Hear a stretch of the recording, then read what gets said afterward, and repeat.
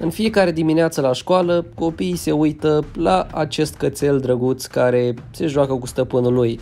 El vrea să ducă să-i salute pe copii, așa că a primit un da de la stăpân și s-a dus direct la gard la copii ca să-i salute. Ce frumos!